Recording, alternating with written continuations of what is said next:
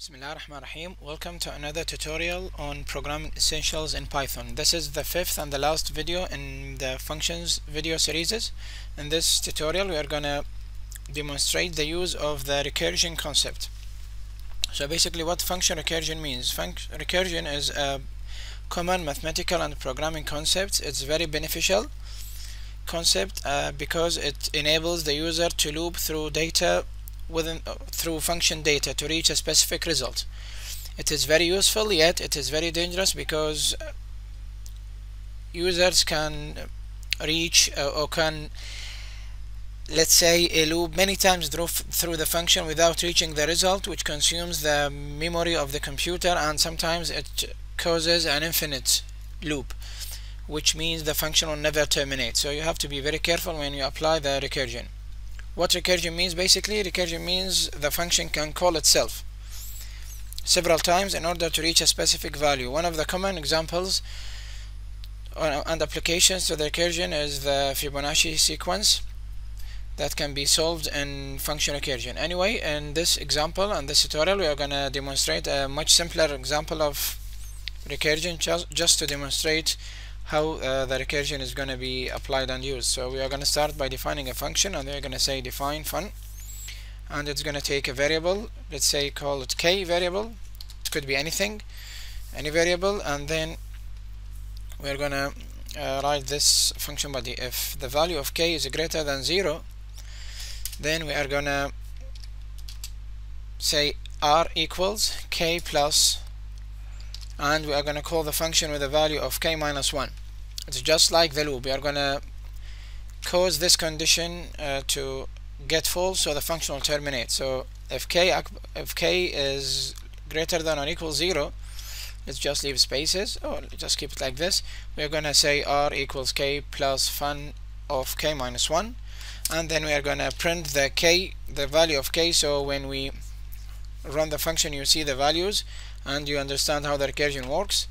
And now else if the value of k is not greater than 0 which means 0 because eventually it's going to reach 0 because you are going to decrement it by 1 you're going to say r equals 0 and then after the if you're going to return the value of r okay?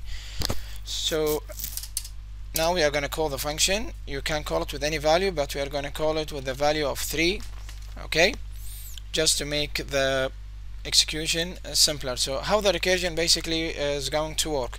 So I'm gonna print screen I'm gonna put this in paint just to demonstrate the how recursion is gonna work. Basically this is going to be control C delete and control V. We are gonna just okay let me just put this like that. Okay again. I'm gonna just go to new and then control V. Now it's gonna be obvious. So first of all uh, let me uh, try to write on this. I'm gonna select the red color.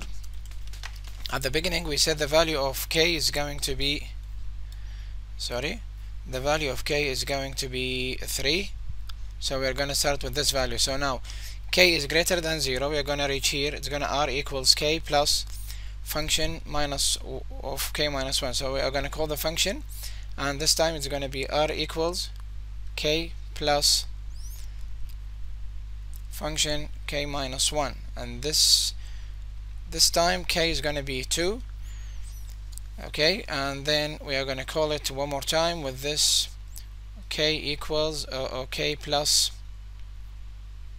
function k minus 1 and so on it's going to be 2 1 and then r equals k plus function of k minus 1 each time k is, uh, deduced by uh, 1 so this this function here or this call here I'm not uh, here it's just a simplification. Basically the whole block should be written here.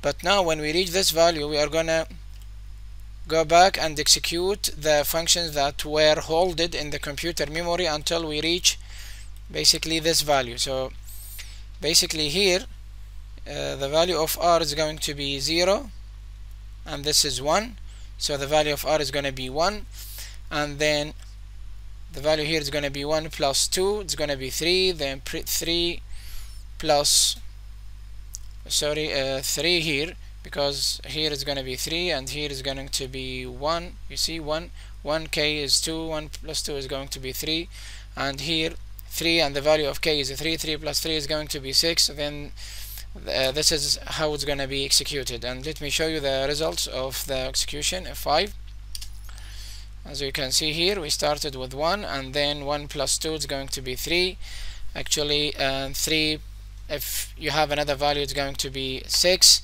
and then it's going to be 10 of course if you change this to 4 you're gonna see what I mean. You see? Uh, uh, basically uh, this is the results of uh, basically we have a problem here. We, we should print R not K. So we see the result not the value of K.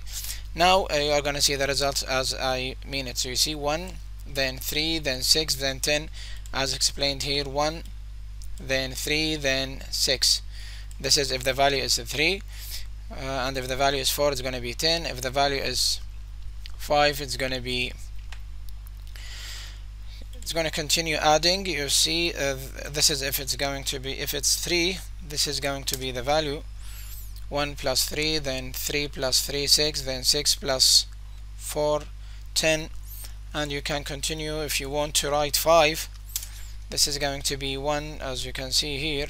Let me show you. Uh, sorry. I will just open it. So 1 and then 1 plus 2 3 3 plus 3 6 6 plus 4 10 10 plus 5 15 15 plus 6 is going to be 21 and so on.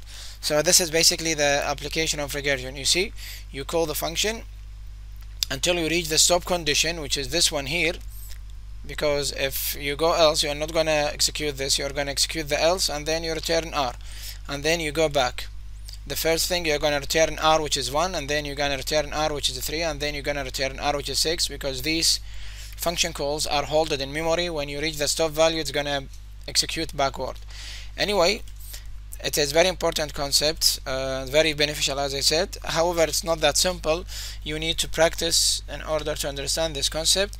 But basically this is generally a, a very quick tutorial and concise tutorial about recursion well, we might uh, go through other examples in recursion in later videos. Thank you very much for watching. Have a nice day. See you in other videos inshallah